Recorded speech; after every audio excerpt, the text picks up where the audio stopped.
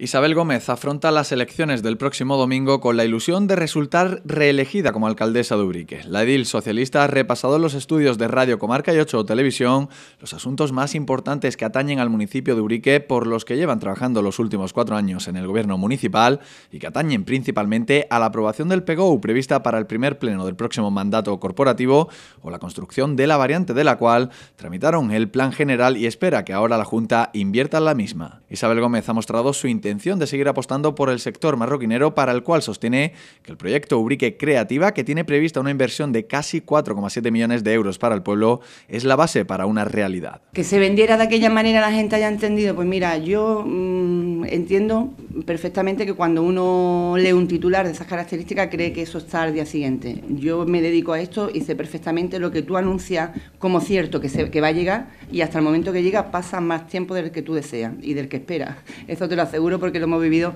en nuestras propias carnes, pero mentira no ha sido. ¿eh? Eso es falta de respeto a todas las entidades que han trabajado en este documento, a la propia Junta de Andalucía, que la delegada, eh, la gerente de, de IDEA, han estado continuamente en esta localidad y no venían a darse una vueltecita, ¿eh? han venido a trabajar y yo creo que falta de respeto a un trabajo que está culminado y que ahora lo que la Junta tiene que decidir es si sigue hacia adelante o si no. La candidata socialista cree que en estos cuatro años han sentado las bases de un proyecto que es el idóneo para Ubrique y el cual espera desarrollar en los próximos cuatro si los ubriqueños renuevan su confianza en ella y en su equipo. Creemos que hemos hecho una gestión aceptable, sobre todo una, un modelo de gestión colaborativo abierto a las opiniones y críticas de, nuestra gente, de nuestros colectivos y asociaciones. Nos hemos implicado en, reforzar todos los objetivos comunes y mm, distanciándonos de las diferencias que, que tuviéramos para conseguir un, un, ubrique mucho más avanzado, mucho más desarrollado y una sociedad mejor. Yo creo que el ubrique de hoy